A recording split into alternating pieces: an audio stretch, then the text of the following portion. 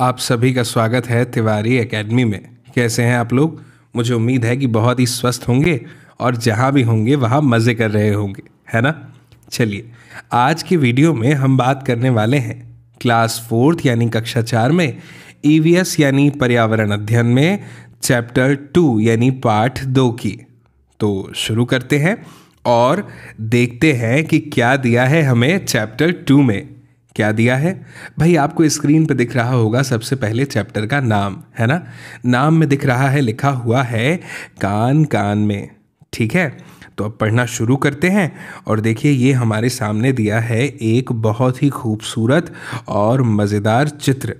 इस चित्र में हमारे सामने एक प्रश्न पूछा गया है। क्या आप उस प्रश्न को पढ़ पा रहे हैं। प्रश्न है, मेरे कान किसके पास हैं? ठीक है ना? मेरे कान किसके पास है? दरअसल ऐसा यहाँ पर इसलिए लिखा गया है क्योंकि यहाँ पर जो जानवर हैं, उनके कान बदल दिए गए हैं। देखिए, हाथी के जो कान हैं, क्या आपको वो हाथी के लगते हैं? नहीं ना? ऐसे ही खरगोश के जो कान हैं, क्या आपको वो खरगोश के लगते हैं? नहीं ना? तो चलिए, देखते हैं कि किसके पास, किसके कान यहाँ पर लगे हुए हैं। तो मुझे ऐसा दिखाई दे रहा है कि जो हाथी के पास कान लगे हुए हैं, दरअसल वो चूहे के हैं। यहाँ पे क्या लिखा है? पहले पढ़ते हैं। क्या ये चित्र अजीब लग रहे हैं? बिल्कुल लग रहे हैं।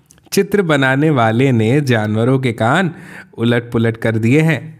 कान को सही जानवर के साथ जोड़ो, नीचे लिखो, किस जानवर के सिर पर किसके कान हैं। तो चलिए, अभी लिखते हैं और देखते हैं कि आखिर किसके पास में किसके कान दिए हुए हैं। है ना? मैं एक काम करता हूँ, आपके सामने यहाँ लिख देता हूँ ताकि आपको समझने में आसानी हो। ठीक है? तो जैसे हाथी के पास चूहे के कान थे, ऐसे ही खरगोश के पास किसके कान हैं? देखो तो खरगोश ये है। खरगोश के पास किसके कान हैं आप समझ गए ना? बिल्कुल सही। ये कान है किसके? मैं आपके सामने लिखता हूँ। पढ़कर बताइए मैंने क्या लिखा है। ज़रा पढ़िए तो। बिल्कुल सही। ये है जिराफ, है ना? ठीक है। फिर है चूहा। चूहे के पास किसके कान हैं? अभी देखते हैं। तो ये है हमारा चूहा और इसके पास कान है किसके? बिल्कुल सही पढ़ा आपने। कुत्ते के कान है है ना? डॉग के। ओके, अब जिराफ को देखिए। जिराफ के पास तो ये बड़े वाले कान हैं। किसके हो सकते हैं? बताइए तो। बिल्कुल सही। हाथी के कान, है ना? ठीक है। अब बारी आती है कुत्ते की, यानी डॉग की। तो डॉग के पास, यानी कुत्ते के पास किसके कान दिखाई दे रहे हैं? बिल्कुल सही। ये कान है, क्या लिखा मैंने पढ़ो तो? खरगोश, है ना? खरगोश के कान है। फिर है भैंस तो भैंस के पास किसके कान दिखाई दे रहे हैं? ये कान किसके दिख रहे हैं आपको? बिल्कुल सही। मैं यहाँ लिखता हूँ। हिरन है ना? और हिरन के पास किसके का, कान है? तो ये कान दिखाई दे रहे हैं भैंस के। दोनों ने अपने कान बदल लिए। ऐसा लग रहा है है ना? ठीक है। तो ये एक्सरसाइज तो हमारी पूरी हो गई। अब हम आगे बढ़ते हैं। अब यहाँ लिखा है अलग अलग जानवरों के कान अलग अलग तरह के होते हैं। है ना? आपने भी कई सारे जानवरों में अलग अलग तरह के कान देखे होंगे, है ना?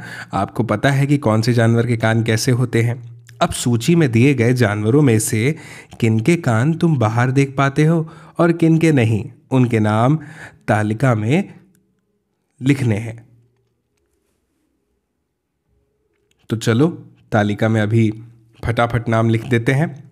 वो जिनके कान हमें बाहर दिखाई देते हैं, उन्हें यहाँ लिखना है।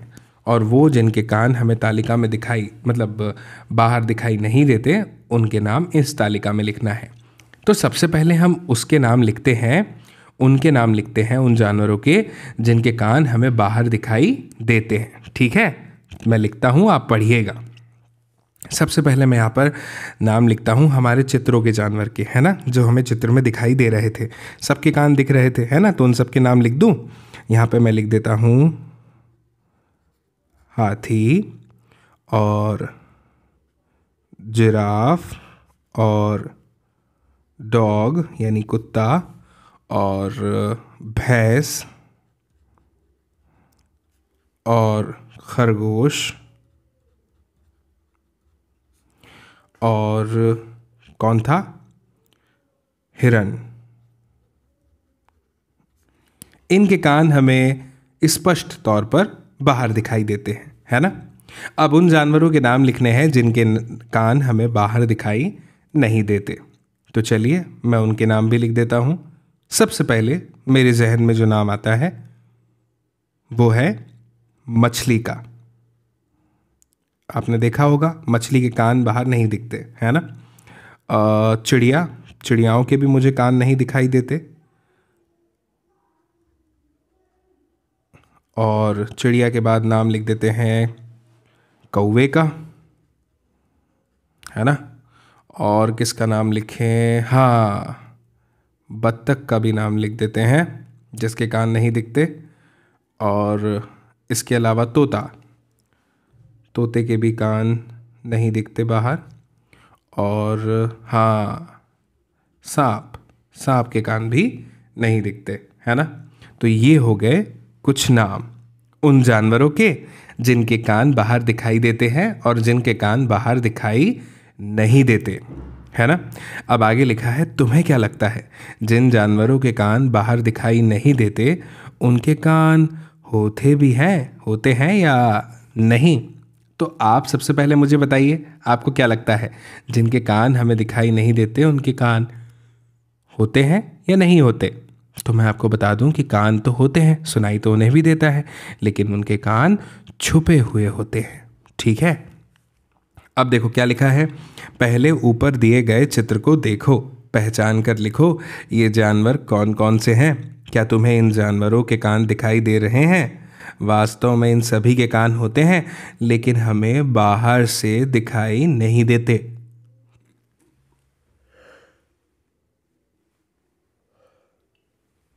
अब देखो, यहाँ पर आप यहाँ पर मुर्गी मुर्गे को देख सकते हैं, चिड़िया, तोता, बत्तख कौआ है ना? इन सभी को यहाँ पर देख रहे हैं हम, मेंढक। तो अब हमारे सामने यहाँ पर बताया है कि सबसे पहला प्रश्न तो यही था कि हमें बताना है कि ये जानवर कौन कौन से हैं, है ना? तो मुर्गी है, चिड़िया है, गोरैया चिड़िया कहते हैं उसे, तोता है, बत्तख है कौआ है, मेंढक है है ना? ये सब चीज़ें।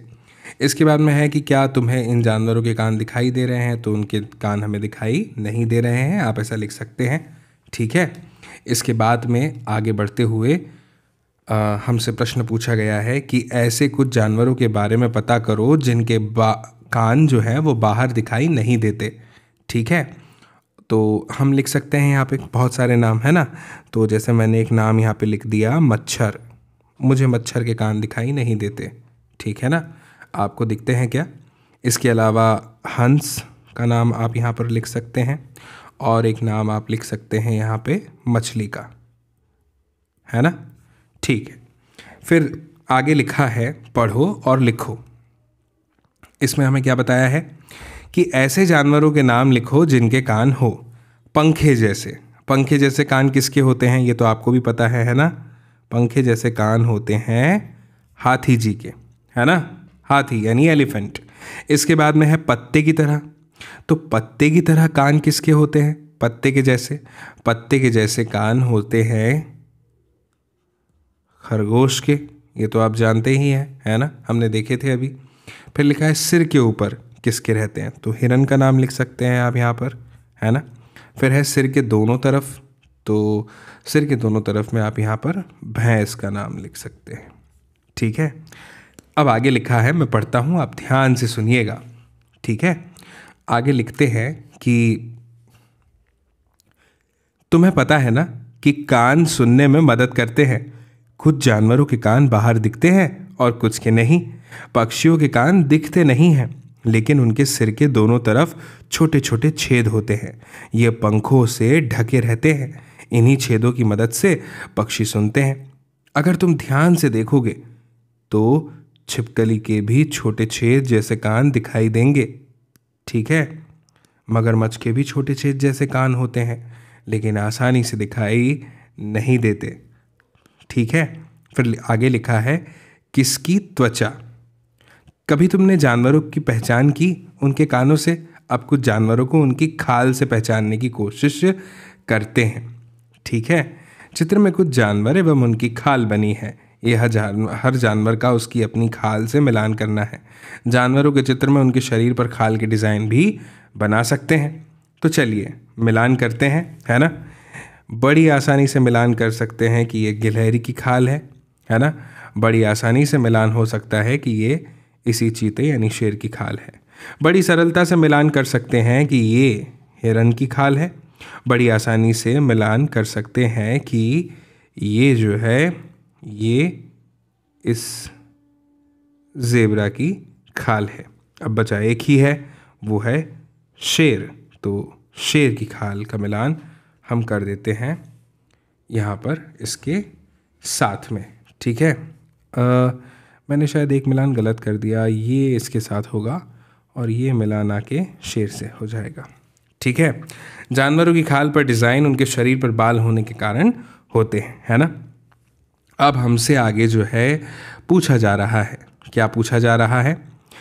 क्या तुमने कभी ऐसे जानवर देखे हैं जिनके बाल हट गए या हटा दिए गए हैं? सोचो, अगर उनकी खाल से बाल हटा दिए जाएँ तो जानवर कैसे दिखाई देंगे? न रहेगा रंग और ना ही डिज़ाइन, है ना? अब समझिए, नीचे कुछ जानवरों के नाम लिखे हैं, इनमें से कुछ को तुमने शायद देखा भी हो, है ना? तो इस सूची में सही जानवर के नाम हमें छाट कर लिखना है। यहाँ पर नाम किस किस के किस किस के दिए हुए हैं? लोमड़ी, मेंढक, चूहा, मुर्गी, हाथी कौआ बिल्ली, ऊँट, चिड़िया, मोर, भैंस, छिपकली, कबूतर, सुअर, बत्तख, गाय, ठीक है?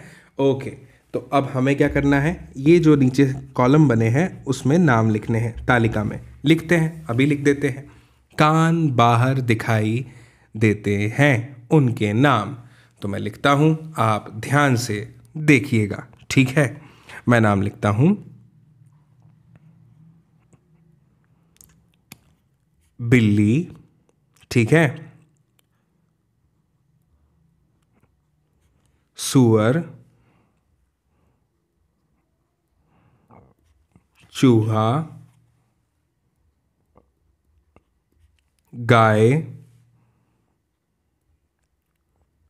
ऊँट,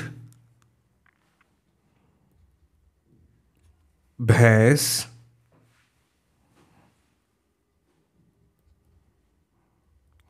लोमड़ी, हाथी। ठीक है? ये नाम हो गए। फिर खाल पर बाल हैं जिनके, उनके नाम लिखिए। तो उनके भी नाम लिख सकते हैं। समान जानवरों के नाम लिख सकते हैं यहाँ पर भी, ठीक है ना? जैसे हाथी, लोमड़ी, भैंस, ऊँट, गाय, चूहा, सुअर और बिल्ली, ठीक है? फिर है कान बाहर दिखाई नहीं देते। किन के कान बाहर नहीं दिखते? तो मैं आपको बता देता हूँ, सबसे पहले जैसे छिपकली है ना? उसके कान नहीं दिखते, फिर बत्तख, उसके कान नहीं दिखते, फिर कबूतर, उसके कान नहीं दिखते, फिर मेंढक, उसके कान भी नहीं दिखते, और और और और और और और चिड़िया। चिड़िया के कान नहीं दिखते और और और और मुर्गी मुर्गी के नहीं दिखते और और और और और और मोर मोर के नहीं दिखते, है ना? फिर और किसके नहीं दिखते? और किसके नहीं दिखते? छिपकली, बत्तख, कबूतर, मेंढक, है ना? और चिड़िया, मुर्गी, मोर कौआ कौआ भी एक नाम था उसमें, है ना? ये हो गया। फिर इसके बाद में खाल पर पंख है। किस किस की खाल पर पंख होते हैं? तो देखिए, सबसे पहले मैं आपको बता देता हूँ, बत्तख की खाल पर पंख होते हैं। कबूतर, पक्षियों के नाम तो हमें लिखना ही है है ना? और मोर, चिड़िया। चिड़िया सही से नहीं लिखा मैंने, फिर से। और चिड़िया के बाद में नाम आ जाएगा मुर्गी। है ना? तो ये कुछ नाम आ जाएँगे। तुमने भैंस और गाय को कौन कौन सी सूची में डाला है? दूर से देखने पर क्या इनकी खाल पर बाल दिखते हैं? अगर हो सके तो पास से देखो, क्या खाल पर बाल दिखाई दिए? अगर हाथ ही मिल जाए तो क्या तुम्हें उसकी खाल पर हाथ फेरने की हिम्मत होगी? क्या तुम जानते हो कि हाथी की खाल पर भी बाल होते हैं? जिन जानवरों के नाम तुमने ऊपर तालिका में लिखे हैं, अब उनके बारे में और बातें जाने। ठीक है ना? अब समझिए क्या लिखा है।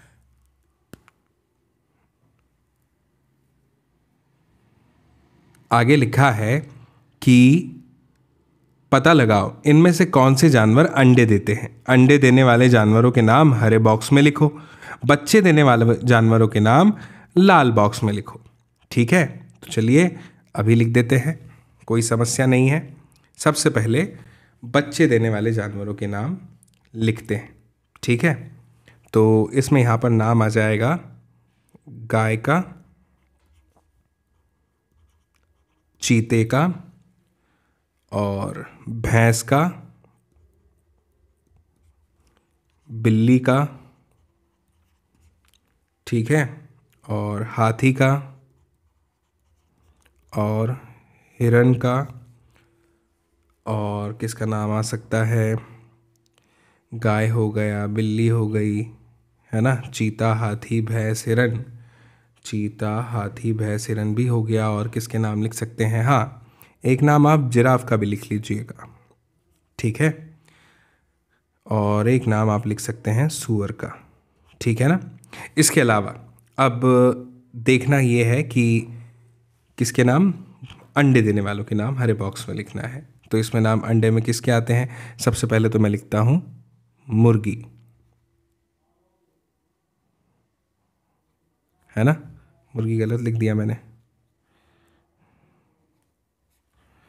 इसके बाद में, मुर्गी के बाद में कौन अंडा देता है? हाँ। सांप। फिर नाम आप लिख सकते हैं मेंढक का फिर मछली। मछली अंडा देती है? फिर नाम आएगा चीटी। फिर नाम आएगा किसका? बत्तख। ऐसे नाम आप यहाँ पे लिख सकते हैं, ठीक है? फिर आगे बढ़ते हैं। अब हरे बॉक्स में लिखे गए जानवरों के नामों को पिछली तालिका में ढूंढो और उनके नीचे रंग रेखा खींचो। उसी तालिका में लाल बॉक्स के जानवरों के नामों पर गोला लगाओ। तो क्या देखा तुमने? जिन जानवरों के कान बाहर दिखाई देते हैं, उनके शरीर पर बाल होते हैं और वे बच्चे देते हैं। जिन जानवरों के कान बाहर दिखाई नहीं देते, उनके शरीर पर बाल नहीं होते और वे अंडे देते हैं। समझ गए? ये एक बहुत ही महत्वपूर्ण जानकारी है। अब आगे हमारे सामने है बहुत ही अच्छे कुछ महत्वपूर्ण प्रश्न। ठीक है? प्रश्न क्या है? प्रश्न ये है, क्या तुमने अपने घर में या आसपास ऐसे जानवर को देखा है जिसने बच्चे दिए हैं? उनके नाम अपनी कॉपी में लिखो। ठीक है? तो इसके जवाब कैसे दे सकते हैं कि हाँ मैंने अपने घर में और आसपास ऐसे जानवर को देखा है जिसने बच्चे दिए हैं। उनके नाम क्या है? उनके नाम है चूहा, बिल्ली, कुत्ता आदि। गाय को भी देखा है है ना? ये सब नाम आप लिख सकते हैं अगर आपने देखा है तो। फिर अगला प्रश्न है, क्या तुम्हारे घर में या आसपास किसी ने जानवर पाला है? तो हाँ मेरे पास, खुद के पास मैं अपना जवाब देता हूँ, एक पालतू कुत्ता है। ठीक है? तो आप ऐसा लिख सकते हैं। कोई होगा जिसने तोता भी पाला होगा, किसी ने गाय पाली होगी, है ना? फिर आगे है, वह कौन सा जानवर है? उसके बारे में हमें लिखना है। ठीक है? तो मैं अपने हिसाब से जानकारी देता हूँ, आप अपने अनुसार दीजिएगा। ठीक है ना? किसी एक पालतू जानवर के बारे में हमें पता करना है और उसके बारे में लिखना है। तो मैं डॉग के बारे में लिखता हूँ। उसका नाम है कुत्ता है ना? वह कुत्ता है। इसके बाद में है और मैं आपको बता दूँ कि मैंने उसका नाम रखा है टाइगर। ठीक है? टाइगर नाम रखा है। क्या उसका कोई नाम है? उसका नाम लिखो तो इस, इसको यहाँ की जगह यहाँ लिखते हैं। टाइगर नाम। फिर लिखा, उस जानवर का नाम किसने रखा? मैंने ही रखा। मुझे पसंद था, मैंने रख दिया। उसे क्या खाना पसंद है? तो मैं आपको बता दूँ कि उसे ना अंडे खाना बहुत पसंद है। फिर लिखा है, उसे दिन में कितनी बार खाना देते हो? तो मैं उसे दिन में तीन बार खाना देता हूँ। फिर लिखा है, उसके सोने का समय क्या है? और वह कितनी दो देर सोता है? ठीक है तो मैं तुम्हें बता देता हूँ कि उसके जो सोने का समय है, वो होता है चार से छः घंटे। ठीक है, इतना वो सोता है। फिर आगे लिखा है, क्या उसका खा, खास तरह से ध्यान रखा जाता है? कैसे? तो मैं आपको बता दूँ कि हाँ उसका ख़ास तरह से ध्यान में रखता हूँ। मैं उसे नहलाता भी हूँ, साफ़ भी रखता हूँ, ठीक है? फिर लिखा है, क्या उसे गुस्सा आता है? कब आता है? तुम्हें कैसे पता चलता है कि वह गुस्सा है? तो उसको ना गुस्सा आता है टाइगर को। और जब वो किसी नए व्यक्ति को देखता है ना तो भौंकता है। और वो क्या करता है? ज़ोर ज़ोर से फिर भौंकने लगता है, फिर उसको शांत कराना पड़ता है। ठीक है? फिर आगे लिखा है, उसके शरीर पर बाल है या पंख? तो उसके शरीर पर बाल है है ना? फिर आगे लिखा है कि उसके कान दिखाई देते हैं या नहीं? तो हाँ उसके कान दिखाई देते हैं, है ना? फिर आगे लिखा है कि क्या वह बच्चा है या बड़ा है? तो वो अभी आ, मतलब बच्चा बच्चा है है ना? ज़्यादा बड़ा वो नहीं हुआ है। फिर लिखा है कि वह जानवर बच्चे देता है या अंडे तो वो बच्चे देता है। फिर लिखा है क्या उसके बच्चे हैं? तो नहीं अभी उसके बच्चे नहीं हैं। फिर आगे है कि उस जानवर का चित्र बनाओ और उसमें रंग भरो। उसका अपनी पसंद से प्यारा सा नाम रखो। तो आप यहाँ पर चित्र बना सकते हैं आपके जानवर का है ना? और उसका नाम भी ज़रूर रखिएगा। इसके बाद में आगे लिखा है कि इस चित्र के जिन भागों में सम संख्याएँ, यानी दो, चार छः आठ लिखी है, उनमें रंग भरने के बाद क्या उभर कर आया पहचानो और उसे जानवर का नाम लिखो।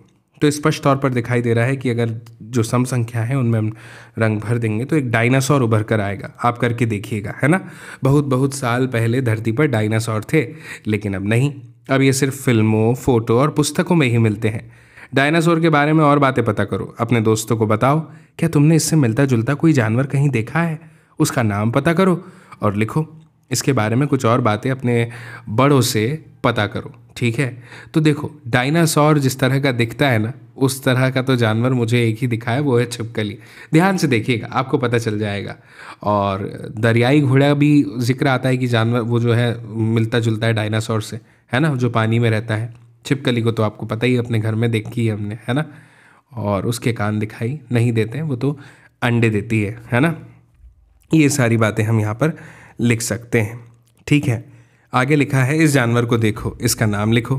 क्या तुम जानते हो, ये हमारा राष्ट्रीय पशु है।